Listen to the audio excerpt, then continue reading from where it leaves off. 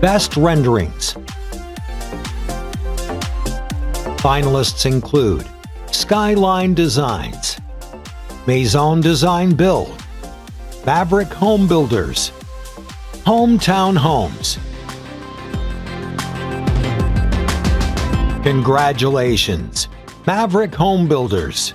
Working with AODBT Architecture and Interior Design, the builder was able to create visuals with a high level of detail to launch the digital marketing campaign for the 2023 Kinsmen Home Lottery, long before completion of the home.